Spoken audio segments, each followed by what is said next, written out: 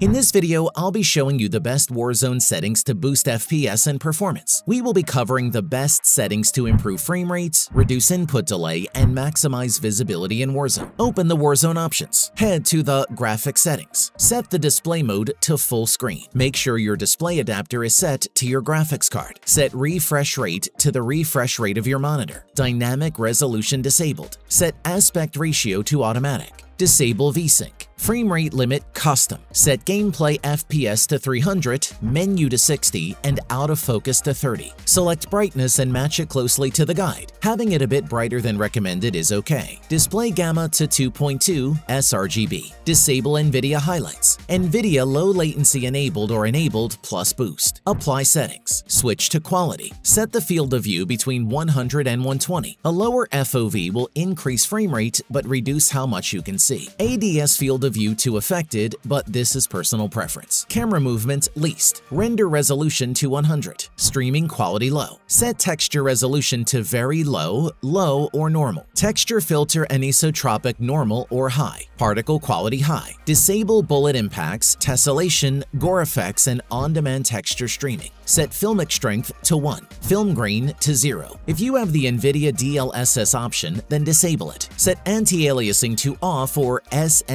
SMAA1X. Disable depth of field and both motion blur options. Set shadow map to low. Cache spot shadows and sun shadows enabled. Particle lighting to low. Disable ray tracing if you have it. Also, disable ambient occlusion and screen space reflection. Apply your settings. Go to the interface options. Disable subtitles. Set colorblind type to deuteranopia and the colorblind target to both. Disable tooltips. Finally, make sure the mini-map shape is set to square. Next, we will be covering general PC settings to boost FPS in Warzone. Open the Start menu. Search for Power Options and open the Settings app. Go to Additional Power Settings. Use either High or Ultimate Performance. If you don't have either, then expand the Additional Plans heading. Change plan settings. Change advanced power settings. Go to processor power management, then set the minimum processor state between 10 and 30. Expand maximum processor state and set it to 100. Apply and click OK. Open the Start menu again. Search for Game Mode and open the settings. Enable Game Mode. Switch to Xbox Game Bar on the side.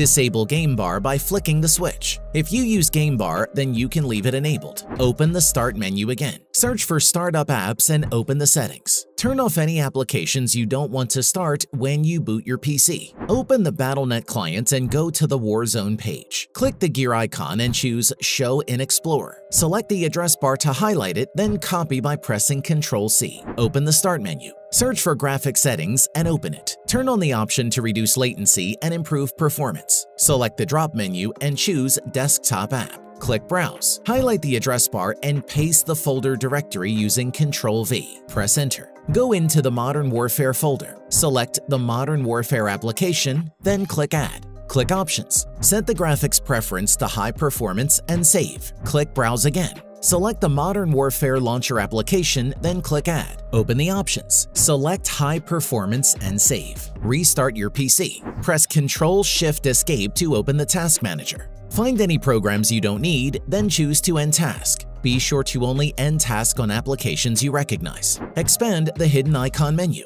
Right-click and exit any applications you don't need. The next steps are for people with an NVIDIA graphics card. Open NVIDIA GeForce Experience. Select Drivers at the top. If you have an update, then download and install it. If none are available, then click Check for Updates. Use the Express installation for the update. Restart your PC. Right-click on the desktop and open the NVIDIA control panel. Go to Adjust Image Settings. Enable the option to use Advanced 3D Image Settings. Apply any changes. Switch to the Manage 3D Settings option on the side. Copy our settings and feel free to adjust any as you like. The main settings you will want to change are low latency, power management mode, texture filtering quality, and threaded optimization. Apply any changes and close. Warzone will now be optimized to boost FPS and performance. Leave a like if you found this video helpful, and subscribe for more Call of Duty setting guides and gaming tutorials.